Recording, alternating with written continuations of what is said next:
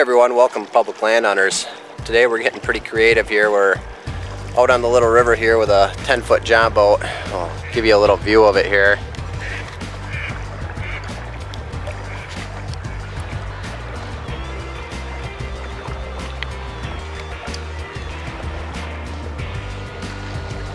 This is a, a spot that you can pretty much only access by boat, kayak, canoe, and uh, it's a spot that deer aren't getting pressured very much.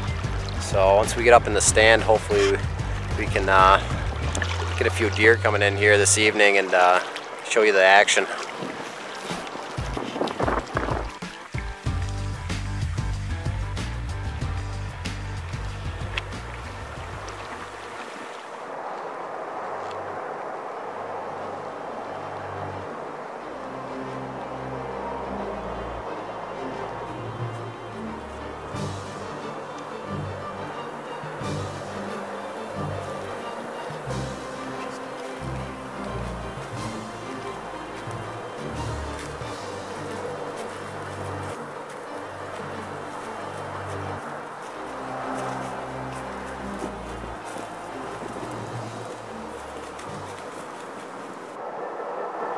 Boy, was that quick.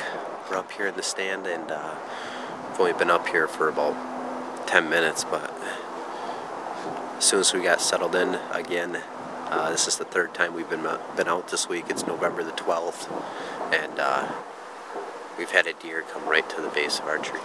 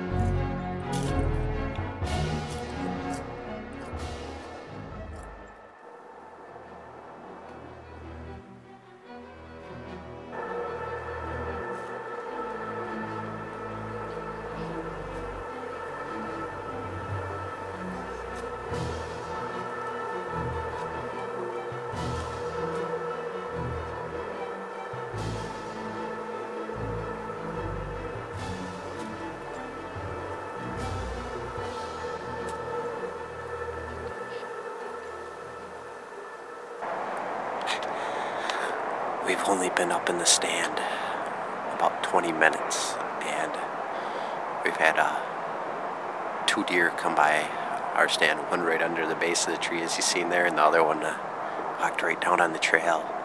And uh, one was a yearling, and the other one looked like last year's doe. So we're still uh, we're looking for a full-size doe to shoot here.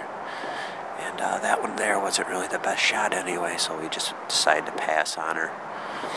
But uh, it's, uh, like I was saying, it's November the 12th, and uh, we've had a real big cold front come in.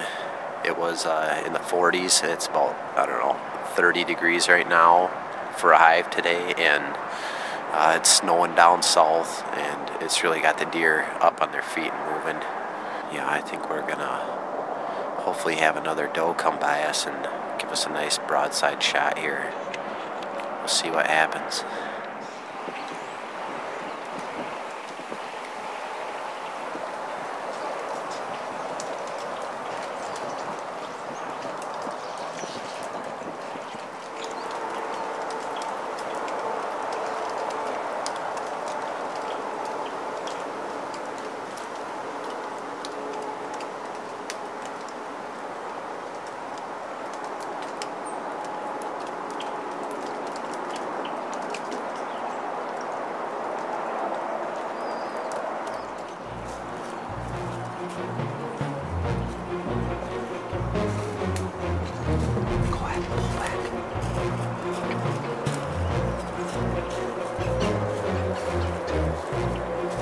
Matt.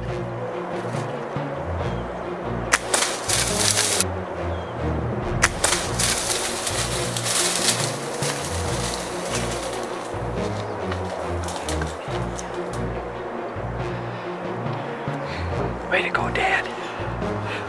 Yeah, you made a real good job. She's down.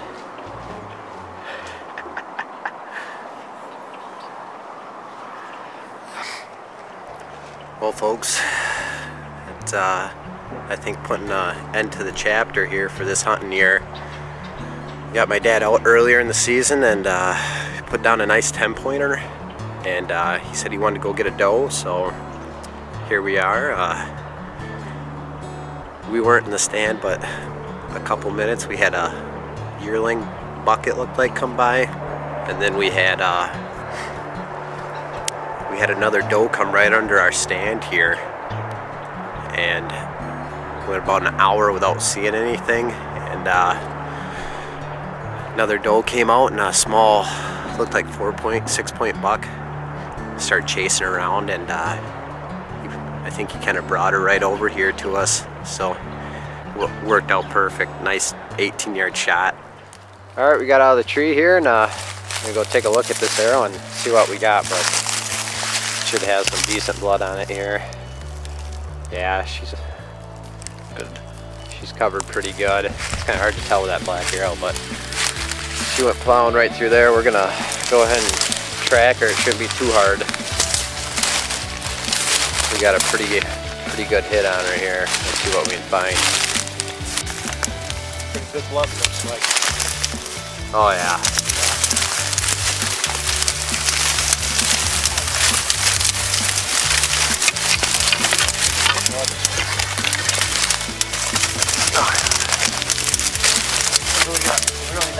Right here.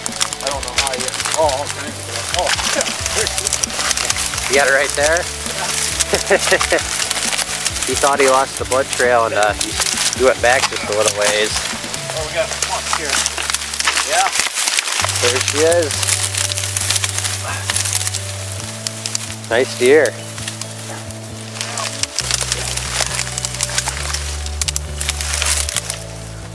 Pretty nice doe.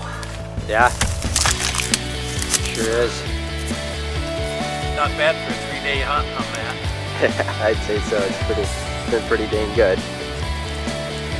Alright, well let's get our jug out of here and not too much of a ride out because we got the Jon boat to stick her in so we just got to get her up uh, out of here and across the dike that we were sitting up on top of and uh, we'll have a pretty easy ride home. Uh, all of our hunts this year, all three of them, we haven't been in the stand for more than a couple minutes and we've had uh, deer right under our feet so it's been pretty pretty exciting three days. Oh, I couldn't have done it without you, Matt.